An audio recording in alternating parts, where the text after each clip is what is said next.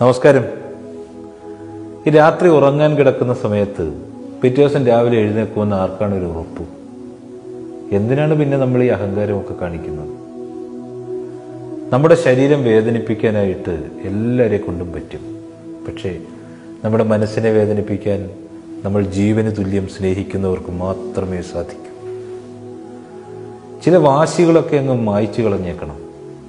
പരിഭവമൊക്കെ പറഞ്ഞങ്ങ് തീർക്ക്. എന്തിനാണ് വെറുതെ തെറ്റിദ്ധാരണകൾ? നമ്മൾ കുറച്ച് സ്വാർത്ഥരാകേണ്ടുന്ന സാഹചര്യമുണ്ടെന്ന് എനിക്ക് തോന്നുന്നു ഇപ്പോൾ. കാരണം നിഷ്കളങ്കരയാണ് എല്ലാവരും എപ്പോഴും മുതലെടുക്കുന്നത്. നമുക്ക് വലിയ വീടുണ്ട് യാത്ര ചെയ്യാൻ മുന്തിയ വാഹനങ്ങളുണ്ട് ഒരുപാട് ബാങ്ക് ബാലൻസ് ഉണ്ട്. പക്ഷെ അവസാനം എല്ലാവരുടെയും കല്ലറയുടെ വലിപ്പം ഒരുപോലെയാണ്. നമുക്ക് എളിമയോടെ ജീവിക്കാം. പരസ്പരം സഹായിക്കാം. ആവോളം സ്നേഹം പകരുകയും ചെയ്യാം. നമുക്കറിയാം ഈ പഞ്ചസാരയുടെയും ഉപ്പിന്റെയും അതിനൊക്കെ ഒരേ നിറമാണ്. പക്ഷെ രണ്ടിന്റെയും രുചി വ്യത്യസ്തമാണ്. സുഹൃത് ബന്ധങ്ങളും അങ്ങനെ തന്നെയാണ്. സ്നേഹിക്കാൻ ഒരു മനസ്സുണ്ടാകണം. അങ്ങനെയെങ്കിൽ കുറവുകൾക്കൊന്നും അവിടെ യാതൊരു സ്ഥാനവുമില്ല. സ്നേഹം യാഥാർത്ഥ്യമാകുന്നത് എപ്പോഴാണ്? ഒരാളുടെ കുറവുകൾ അറിഞ്ഞ് അവരെ സ്നേഹിക്കുമ്പോഴാണ്. നമ്മൾ താമസിക്കുന്ന സ്ഥലം എത്ര ചെറുതാണെങ്കിലും സമാധാനമുണ്ടെങ്കിൽ അത് കൊട്ടാരത്തേക്കാൾ എത്രയോ വലുതാണ്. നമുക്ക് എല്ലാവരെയും സഹായിക്കാനൊന്നും കഴിയില്ല. എന്നാലും അതിലും എത്രയോ വലിയ കാര്യമാണ് ആരെയും ഉപദ്രവിക്കാതിരിക്കുക എന്നുള്ളത്. ചില വാക്കുകൾ കേൾക്കുമ്പോൾ ചിലപ്പോൾ നമുക്ക് ഇഷ്ടപ്പെടാതെ വരും. അതിനൊക്കെ ഭംഗിയും ഇമ്പവും ഒക്കെ കുറവായിരിക്കും. ചിലർ പറയുന്നതാണെങ്കിലോ അരോചകമായി മാത്രമേ നമുക്ക് തോന്നുകയുള്ളൂ. അച്ഛനൊക്കെ ചില കാര്യങ്ങൾ പറയുന്ന സമയത്ത് നമ്മളിങ്ങനെ പറയും അല്ലെങ്കിൽ ചിന്തിക്കും. ഓ ഇതൊക്കെ എന്നും പറയുന്നതാണ്. ഇതൊക്കെ കേട്ട് മടുത്തു. ഈ അനുഭവമൊന്നും ഈ ഉപദേശമൊന്നും എനിക്ക് വേണ്ട. പക്ഷേ അത് അനുഭവത്തിന്റെ തീച്ചൂളയിൽ ചുട്ടെടുത്ത വാക്കുകളാണ്. അതാദ്യമൊക്കെ കഴിക്കും. പക്ഷേ ജീവിതത്തിൽ പിന്നീട് എപ്പോഴെങ്കിലും അതൊക്കെ മധുരിക്കും. നമ്മൾ എന്തെങ്കിലുമൊക്കെ കാര്യം വരുന്ന സമയത്ത് നമ്മുടെ ജീവിതത്തെ താരതമ്യം ചെയ്യുന്നത് നമുക്ക് മുകളിലുള്ള ആളുകളോടാണ്. അപ്പോൾ നമുക്ക് ദുഃഖം വരും നിരാശ വരും ജീവിതത്തോട് മടുപ്പുണ്ടാകും. രക്തത്തിൽ ചെറിയ അളവിൽ പഞ്ചസാരയുണ്ടെന്ന് പറഞ്ഞ് വേദനിക്കുന്നവൻ ക്യാൻസർ ഉള്ളവനെ നോക്കിയാണ് തന്റെ ജീവിതത്തെ താരതമ്യപ്പെടുത്തേണ്ടത്. അപ്പോഴാണ് തനിക്കുള്ള രോഗം ഇത്ര ചെറുതാണെന്ന് നമുക്ക് ബോധ്യപ്പെടുന്നത്.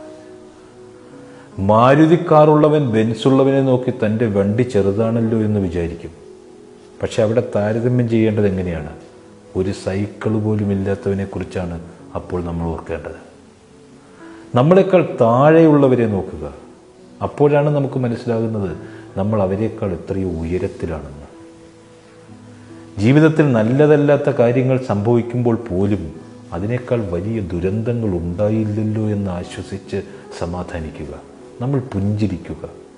എല്ലാവർക്കും മാപ്പ് കൊടുക്കേണ്ടത് ഉറങ്ങാൻ കിടക്കുമ്പോഴാണ്. ശുദ്ധ മനസ്സോടെ ഉറങ്ങാൻ ശ്രമിക്കുക.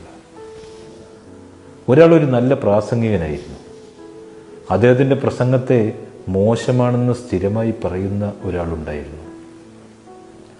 അടുത്തിടെ അദ്ദേഹം നടത്തിയ രണ്ട് മൂന്ന് പ്രസംഗങ്ങൾ കേട്ട് ഈ ശ്രോതാവ് കേൾവിക്കാരൻ പറഞ്ഞു ഹാ നിങ്ങളുടെ പ്രസംഗം പഴയതുപോലെയല്ല. ഇപ്പോൾ വളരെ നന്നാവുന്നുണ്ട്. അപ്പോൾ പ്രസംഗകൻ അയാളോട് മറുപടി പറഞ്ഞു. എന്റെ പ്രസംഗങ്ങളല്ല നന്നായത്. അതല്ല മാറിയത്. നിങ്ങളുടെ മാനസികാവസ്ഥയും എന്നോടുള്ള സമീപനത്തിലുമാണ് എന്നെക്കുറിച്ചുള്ള മുൻവിധിയിലാണ് മാറ്റം വന്നത്. ഏത് കാര്യം കാണുമ്പോഴും കേൾക്കുമ്പോഴും പറയുന്ന ആളിലല്ല പറയുന്ന കാര്യങ്ങളിലാണ് നമ്മൾ ശ്രദ്ധിക്കേണ്ടത്. ഒന്നിനെയും ഒരു മുൻവിധിയോടെയും നമ്മൾ കാണാതിരിക്കുക. നമ്മുടെ ശരികളിൽ നമ്മൾ കാര്യങ്ങളെ നോക്കിക്കാണാതിരിക്കുക. നമ്മളൊക്കെ എന്തൊക്കെയാണോ പറയുന്നത് അതിന്റെ പ്രധാനപ്പെട്ട ഉത്തരവാദി നമ്മൾ മാത്രമാണ്. മറ്റുള്ളവരതെങ്ങനെ മനസ്സിലാക്കുന്നു എന്നത് നമ്മുടെ ഉത്തരവാദിത്വമുള്ള കാര്യമല്ല. ഒരു കൊമ്പിൽ നിന്നും മറ്റൊരു കൊമ്പിലേക്ക് പറക്കുന്ന കിളികളെ കണ്ടിട്ടില്ലേ? അവർ പഠിപ്പിച്ചു തരുന്ന ഒരു പാഠമുണ്ട്. ഒരു കൊമ്പിനെയും നാം കൂടുതൽ ആശ്രയിക്കരുതെന്നുള്ള പാഠം. നമുക്ക് സ്വന്തമെന്ന് തോന്നുന്നവരോട് നമ്മൾ എന്തും തുറന്ന് സംസാരിക്കും. എന്നാൽ അവരിൽ നിന്നും പ്രതീക്ഷിക്കാത്ത വാക്കുകൾ വരുമ്പോൾ നമ്മുടെ മനസ്സിനെ അത് വല്ലാതെ മുറിവേൽപ്പിക്കും. ജീവിക്കുവാനുള്ള ഒരവസരവും നമ്മൾ പാഴാക്കരുത്. കാരണം ജീവിതം തന്നെ ഒരവസരമാണ്. ഒന്ന് കാൽ തെറ്റി വീണാൽ പിന്നെ തീർന്നില്ലേ ജീവിതം? പിന്നെ എന്ത് ജാതിയാണ്? എന്ത് മതമാണ്? എന്ത് നിറമാണ്? അതിനൊക്കെ പിന്നെ എന്താണ് പ്രസക്തി? ശരീരത്തിൽ ജീവനുള്ളപ്പോൾ ആർക്കും മുഖത്ത് നോക്കുവാൻ സമയമില്ല. മരണപ്പെട്ട് കഴിയുമ്പോൾ ആ മുഖം കാണുവാൻ എന്തൊരു തിരക്കാണ്. ജീവൻ പോയിട്ട് മുഖത്ത് നോക്കുന്നതിനേക്കാൾ എത്രയോ നല്ലതാണ്. നമ്മൾ ജീവിച്ചിരിക്കുന്ന സമയത്ത് പരസ്പരം ചിരിക്കുകയും സന്തോഷിക്കുകയും ഒക്കെ ചെയ്യുന്നത്. ജീവിതത്തെക്കാൾ വലിയൊരു വിദ്യാലയം ഈ ഭൂമിയിലില്ല. അനുഭവത്തെക്കാൾ വലുതായി പഠിക്കാൻ എന്ത് പാഠമാണ് നമ്മുടെ ജീവിതത്തിലുള്ളത്? പണക്കാരനും പാവപ്പെട്ടവനുമൊക്കെ അവസാനം ചെന്ന് വീഴുന്നത് ആറടി മണ്ണിലാണ്. രണ്ടു തരം ബന്ധങ്ങളാണ് നമുക്ക് കാണുവാൻ കഴിയുന്നത്. ചിലർ നമ്മുടെ മുമ്പിൽ എത്തുമ്പോൾ അത് നമുക്കതൊരു അനുഗ്രഹമായി തോന്നും. മറ്റു ചിലരെത്തുമ്പോൾ നമുക്കതൊരു പാഠമായി തോന്നും. ചില ചിരിക്കുന്ന മുഖങ്ങൾ സൂചിപ്പിക്കുന്നത് അവർക്ക് സങ്കടവും ദുഃഖമൊന്നുമില്ല എന്നല്ല. അത് കാണാതിരിക്കുവാനും അത് കൈകാര്യം ചെയ്യുവാനും അവരെങ്ങനെ പഠിച്ചിരിക്കുന്നു എന്നാണ് നമ്മൾ മനസ്സിലാക്കേണ്ടത്. ചെറുപ്പത്തിൽ നമുക്ക് സ്നേഹം സൗജന്യമായിട്ടാണ് ലഭിക്കുന്നത്. വളർന്നു കഴിയുമ്പോൾ നമ്മൾ തന്നെ അതിനായി അധ്വാനിക്കേണ്ടി വരുന്നു. വയസ്സായി കഴിയുമ്പോൾ അതിനുവേണ്ടി നാം യാചിക്കേണ്ടി വരുന്നു.